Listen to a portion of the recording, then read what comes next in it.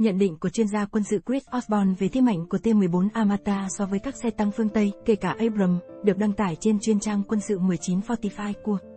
Mỹ cho biết, Mata của Nga nhẹ hơn nhiều so với Abrams Mỹ sản xuất.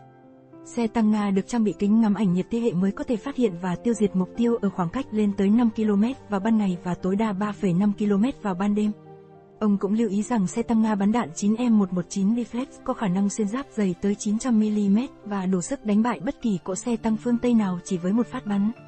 Nhưng ưu điểm lớn nhất của T-14 Amata chính là tháp pháo không người lái và khoang chứa vũ khí riêng biệt tạo sự an toàn cao cho tổ lái trong trường hợp bị tấn công, nhà báo nói.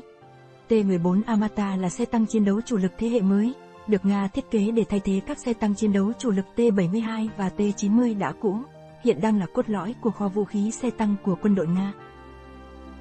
Amata dựa trên nền tảng mô đun bánh xích hạng nặng cùng tên, cũng là cơ sở cho một số loại khí tài quân sự tiên tiến khác, chẳng hạn như xe chiến đấu bộ binh T-15 và pháo tự hành 2S-35 Coalicia SV. Tăng Amata nặng 48 tấn được trang bị pháo nòng trơn 2A82 đến 1M125mm có thể bắn cả đạn nổ mạnh và đạn chống tăng. Các loại vũ khí khác trên xe gồm súng máy đồng trục 7,62mm để đối phó với bộ binh địch và súng máy phòng không điều khiển từ xa 12,7mm có khả năng tiêu diệt mục tiêu trên không ở khoảng cách lên tới 1,5 km. Xe tăng cũng tự hào về khả năng phòng thủ đáng ngờm, bao gồm áo giáp nhiều lớp tổng hợp, có khả năng chịu được các đòn tấn công, từ tên lửa chống tăng dẫn đường 152mm và đạn phá hủy xuyên giáp 125mm. Hệ thống bảo vệ tích cực Afghanis cung cấp một mức độ phòng thủ bổ sung, chống lại các loại đạn chống tăng đang lao tới và đáy hình chữ V của thân xe tăng được thiết kế để chống mìn.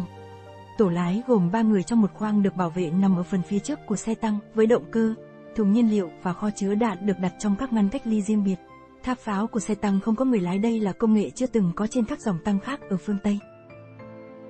Sự ra đời của những chiếc T-14 Amata đã khiến phương Tây cuống cuồng tìm cách nâng cấp và thậm chí là bắt tay vào việc chế tạo một loại tăng mới, được kỳ vọng có thể trở thành đối thủ xứng tầm với xe tăng mới của Nga. Hãng B-System của Anh quyết định phối hợp với các nhà sản xuất vũ khí hàng đầu thế giới để nâng cấp và kéo dài vòng đời phục vụ của 227 đơn vị xe tăng chủ lực Challenger 2 trong biên chế quân đội Hoàng gia Anh.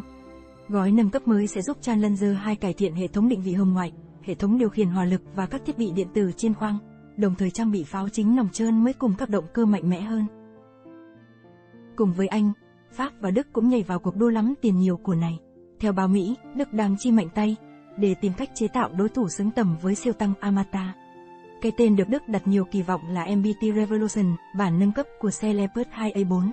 MBT Revolution sẽ không chỉ được sử dụng để thay thế người tiền nhiệm ở Đức mà còn được đưa vào biên chế của quân đội Pháp thay cho Leclerc. Mặc dù vậy, theo báo Mỹ, để cạnh tranh song phẳng với T-14 Amata của Nga, MBT Revolution phải đợi ít nhất đến sau năm 2030 bởi kế hoạch sản xuất vẫn ở giai đoạn ban đầu. Cảm ơn các bạn đã xem bản tin.